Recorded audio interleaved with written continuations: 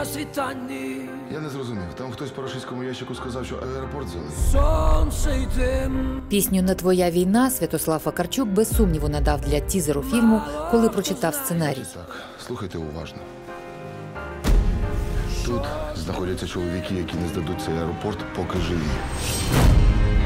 Кіно про захисників Донецького аеропорту як історію про нових героїв режисер Ахтем Сейтаблаєв задумав створити, коли бої там ще відбувалися.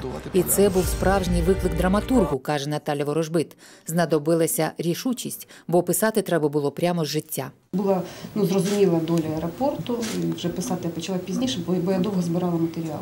І психологічно готувалася до цієї роботи, бо саме важке було саме психологічно перебороти в собі цей страх і відповідальність. Продюсер та режисер зіткнулися також із необхідністю відтворення військової реальності для українського кіновиробництва. Це доволі складний етап, але необхідний. Тому в павільйоні довелося будувати та руйнувати аеропорт. Декорации строил наш прекрасный художник-постановщик э, Шевкет Сейдаметов. Он м, строил декорации полностью по документальным э, видео, которые он пересматривал, по фотографиям, которые ему пересылали э, бойцы и кто был в аэропорту. Кіборги кіно про мир, який народжується всередині війни, каже режисер.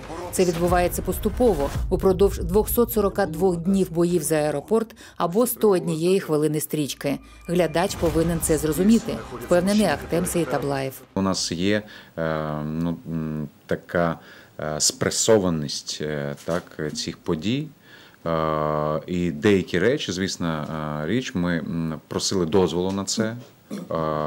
Ми е, радились з бійцями. Отримувати благословіння, каже режисер, треба було від тих, хто пройшов через реальний вогонь, тобто самих кіборгів. Прототипи героїв Олександр Трипак, позивний Редут, Андрій Шараскін, позивний Богема, Євген Жуков, позивний Маршал. Зустрічі з тими, хто там був і повернувся, зробили головне. Багато кіборгів приїхали в один день. е, Мачанов з ними приїхав, і вони привезли піцу ветерану.